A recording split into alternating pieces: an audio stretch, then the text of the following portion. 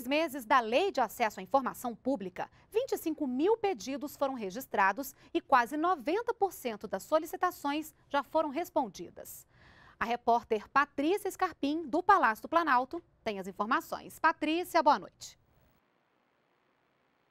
Boa noite, Renata. Entre os órgãos que mais receberam solicitações estão a Superintendência de Seguros Privados, INSS, Banco Central, Caixa Econômica Federal e, e, os Correios. E quem vai dar mais informações para a gente sobre esse assunto é o Mário Vinícius Spinelli, que é da Controladoria Geral da União. Boa noite. Quais são as principais dúvidas da população?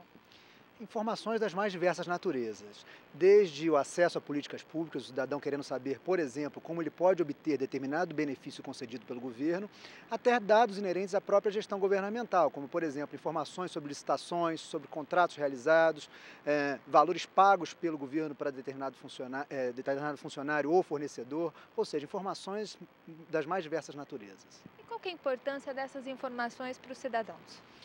É fundamental para que o cidadão possa exercer de fato a sua cidadania. A lei de acesso é um instrumento essencial no que diz respeito à prevenção e combate à corrupção, mas também à própria inclusão social. De posse dessas informações, o cidadão pode requerer acesso a políticas públicas, pode exigir dos órgãos públicos uma conduta compatível com o que se espera com relação ao interesse público.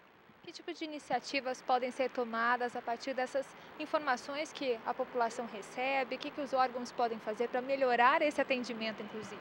É, nós temos instruído uh, os ministérios para que aquelas informações que têm sido mais solicitadas, que elas sejam divulgadas de forma espontânea. Porque se há uma demanda muito grande da sociedade com relação a um determinado tipo de dado, é porque uh, aquele dado não tem sido divulgado adequadamente pelo Ministério. Então, nós temos orientado os ministérios para que o façam, para que divulguem é, espontaneamente esse tipo de informação.